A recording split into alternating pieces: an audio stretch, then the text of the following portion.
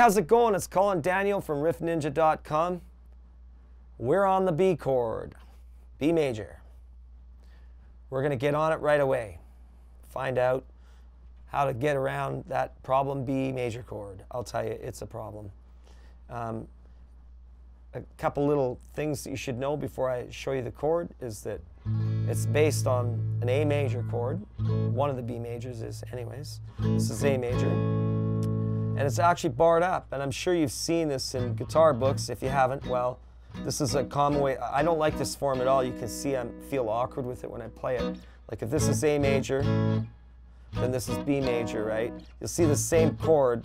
You know, use different fingers, obviously. If your first, second, and third fingers are stronger, the strongest ones, you're going to use that to play an A. And I, I use the pinky to embellish the A, but when we move up, we need an extra finger because we have to move all the strings up uh, equally, or it's not the same chord relation anymore.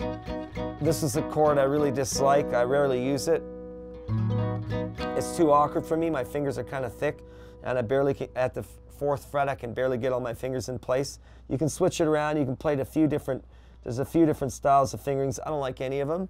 Uh, that's kind of up to you. But I want you to realize that the chord's coming from A. You see, it's really just the A major moved up. That becomes a B major. That's an awkward chord for me. I don't like it at all. Now my solution to it is, well, I bar it, but instead of playing those three strings with three separate fingers, I kink bar it. Ouch! This takes uh, quite a bit to, uh, uh, to get onto. I, I find my students have the uh, hardest time getting this chord down. is probably the most difficult, but very, very practical, especially if you're planning to move the chord around and bar up the fretboard, because it's a real good uh, chord to know, because I certainly can't get my fingers into that chord up here at all. You know, because this chord's movable, eh?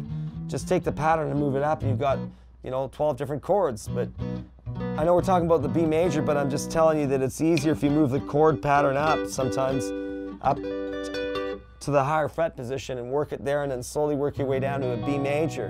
Because the B major is really close to the nut, it takes a lot of strength to do it. So this is one way to kind of strengthen up a bit before you get down to that second fret string tension. Once you get that, then the trick is that I'm kink barring the uh, uh, fourth, third, and second string, but I'm, and this is why they call it kink bar, because you'll notice my third finger here, just on the first string is kinked up enough to miss it from this finger and catch it with the bar. And so I get this B major chord from it.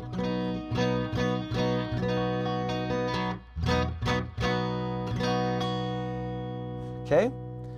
Now there's some other secrets to playing the bar, like especially you're going to have a struggle with this kink bar. I've got another, uh, I've got another uh, B major chord too for you folks that are real beginners.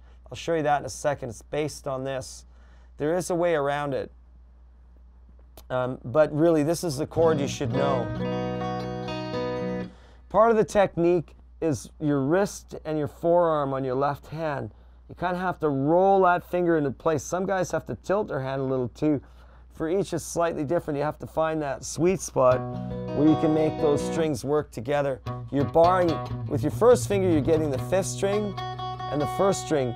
With your third finger, you're getting the fourth, third, and second string, right? And that's just like moving the A major up. It's like playing this, which I have a hard time playing, or this, which I prefer. That's B major. Okay? Um, the other trick is that, you know, I showed you before this horrid chord that I don't like. This is B major. Well, we can take the fourth string out because it's a repeat of notes and you can play a three string B major like this if you're a real beginner. Like, I mean, I'll use this B major, but it'll be a, for a totally different application than strumming because it's only three strings, right? This B major is strummable because you got four strings. And so is this one. And I use all six for an extra bass note. But the root of the chord the root of this chord is the fifth string root. So that's a B and this is the major form, so that's B major, right? Okay, you got that? All right, remember, use for your bar, I'm using the edge of my finger. And if, you're, if you take your hand and turn it so your thumb's facing you, and you look at the edge of your finger, it'll be to your right, just a little to the right of the middle of the edge of your finger that you want to sit that bar, right? So I'm rolling my finger over, uh, I guess counterclockwise a bit. Uh, this is flat, and this is the way I've got it. Again, this is flat, and this is, I roll it back, and I use my thumb at the back. Like if I put my thumb here, it's too hard to keep my bar finger in the right place. It forces it in a different direction.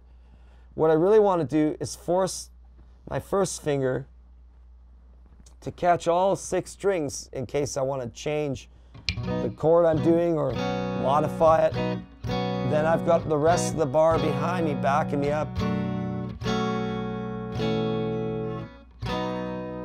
You know, there's all these different forms based different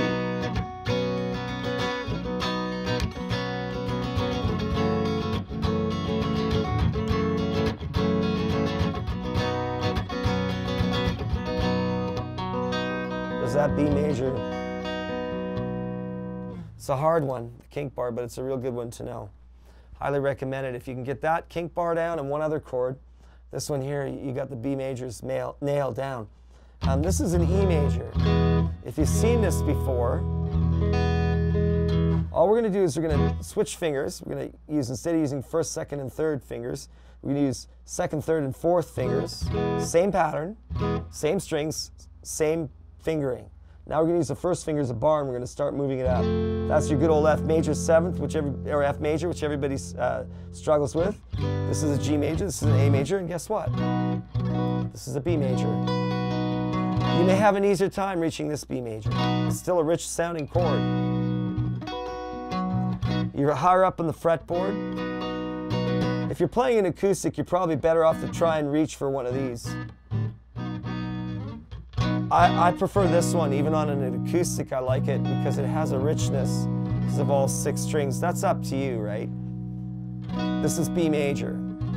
So it's the same theory again with the uh, fretboard, um, with your bar finger using the edge of your finger, tucking in close to the fret, not back too far, that's too far back, like snuggle up to it so that almost the edge of your finger is on the bar itself or on the uh, fret itself. So this first finger that's barring, um, you'll see it just about cover, just the edge of the finger, the side edge of the finger is just about covering the fret.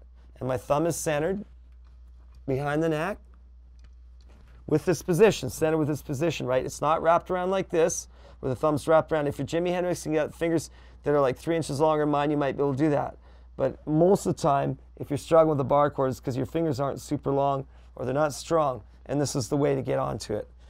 Okay, so you just put your third and fourth finger down on the fifth and fourth string, right? Just like an E minor down here. It's just picture this is your nut, and this is the E minor form. There's your nut right there, right? And now you have to put down your E minor.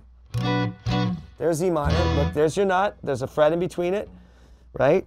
Here's your nut. There's a fret in between it. You got to keep the same relationship. Okay, that's B minor. So, or that's B minor. That's B major, right? That's B major. That's B minor. These are all the B's, right? B major, B major. We've got the three string B major. That's the easy one. You can strum it, but it's it's weak compared to the B major here. And the B major here.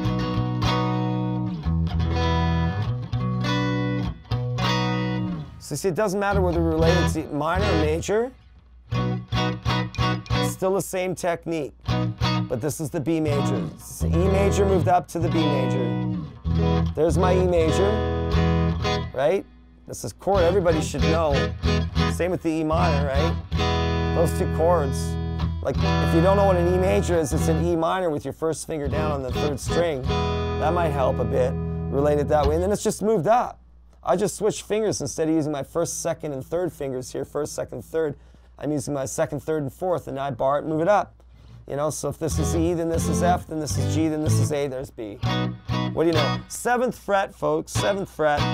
One, two, three, four, five, six, seven. That's a B major. All right. Um, uh, that's a little hint of what you can find on my website, riffninja.com.